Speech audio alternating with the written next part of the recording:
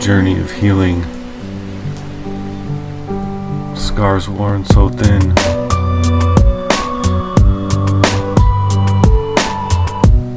So, this is a tale of redemption where the pain has been.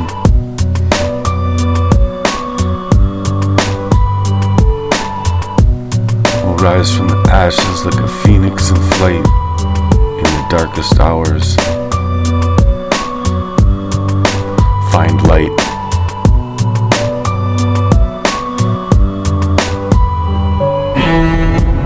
It used to be broken, shattered, and torn, but the healing process, a new day is born. Turning the page on a brand new grind, with Christ by our side, healing we'll find.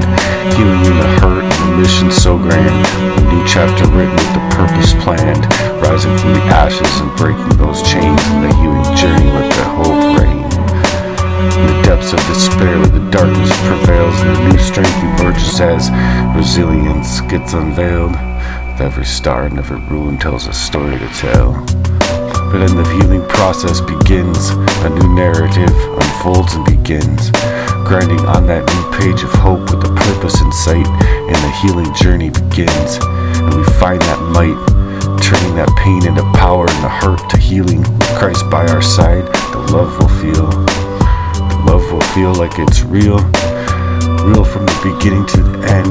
Healing that hurt and a mission so grand. A new chapter written with the purpose so planned. Rising from the ashes and breaking every single chain. Rising in that healing journey, let hope reign. Let the scars may linger, but they don't define you. Let the healing journey and the sun always shine right through you.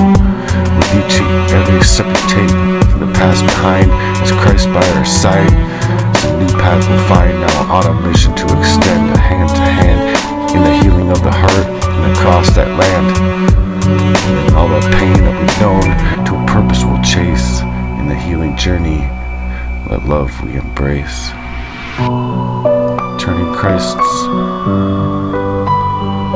life into our struggles, breathing Christ's life into our strength, and so divine to a victory we sign. No stopping now on this healing conquest for every single hurting heart. We give it our best. Healing heart works, the healing heart hurts. On a mission so grand, a new chapter written with a purpose so planned. We're rising from the ashes and breaking every single chain.